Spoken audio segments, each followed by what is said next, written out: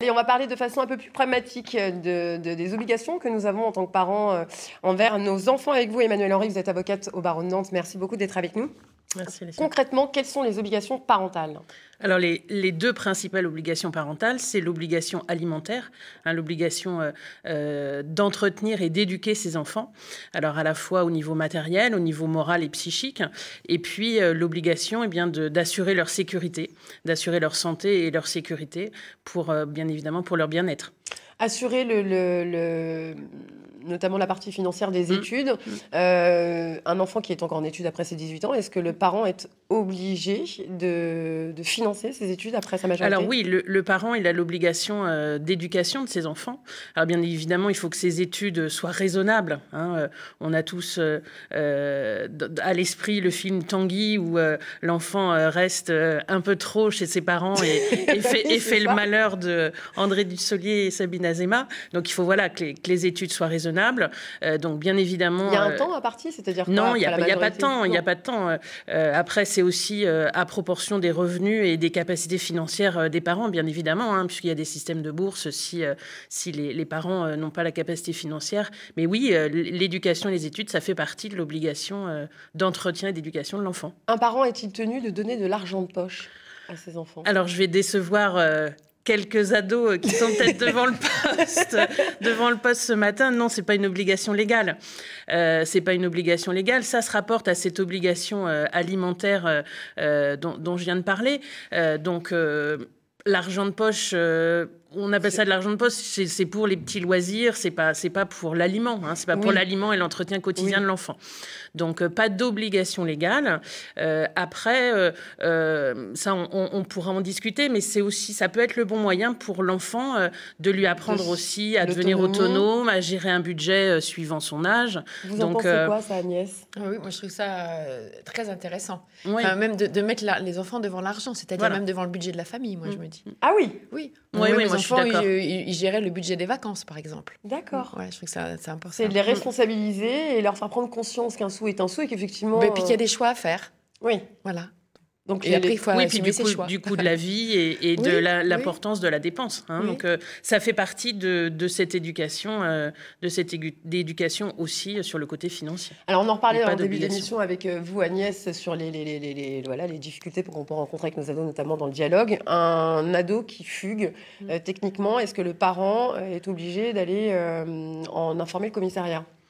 Alors obligé, je pense que c'est le réflexe de tout parent. Hein. Alors euh, euh, les, sites sur euh, les enfants disparus disent que c'est pas le premier réflexe à avoir. Le premier réflexe, c'est déjà s'assurer que cette, cette absence de l'enfant est inexpliquée, est inquiétante. Hein. On parle de disparition inquiétante. Donc déjà essayer de comprendre pourquoi l'enfant n'est pas arrivé à l'heure prévue. Peut-être contacter les établissements, son établissement scolaire, ses copains, la, famille, des, des, personnes avec qui, voilà des proches chez qui il aurait pu se réfugier. Et puis, bien évidemment, si cette disparition est inexpliquée, est inquiétante, eh bien, il faut prévenir rapidement euh, le, commissariat. Alors, justement, si pendant cette fugue, je vais très loin, si pendant cette fugue, un ado commet un délit ou se blesse et que les parents n'ont pas euh, informé euh, de sa disparition, n'ont pas informé le commissariat de sa disparition, il y a une responsabilité? Alors, il y a, alors si l'enfant commet un délit, la responsabilité, c'est toujours la responsabilité de son parent. Hein.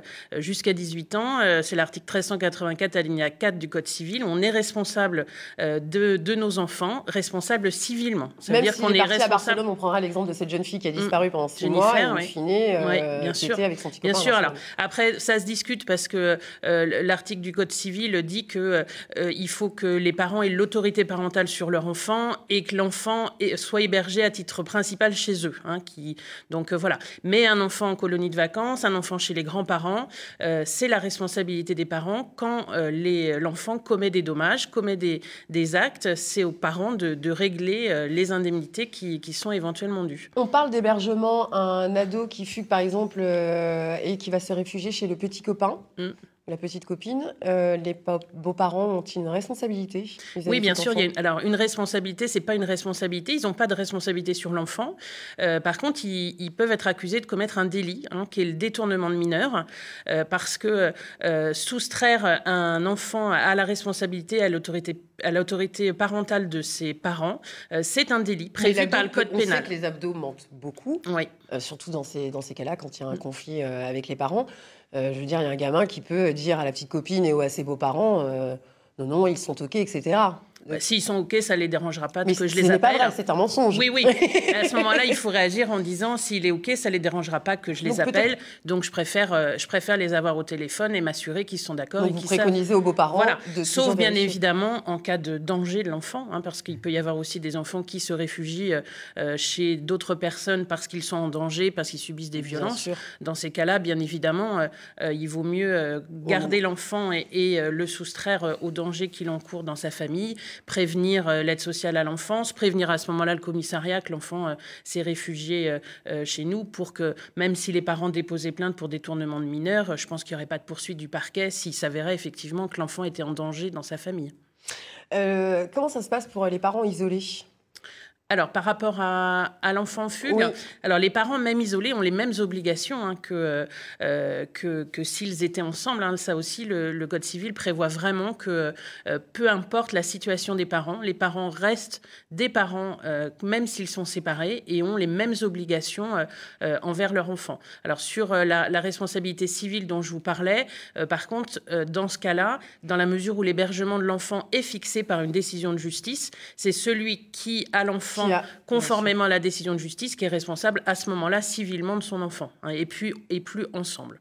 Mais, euh, mais sinon, euh, ce sont les mêmes obligations, euh, quelle que soit la situation des parents. Emmanuel Martin, merci beaucoup de nous avoir apporté ces petites précisions quant à nos obligations parentales. Je vais dire au revoir à Thomas.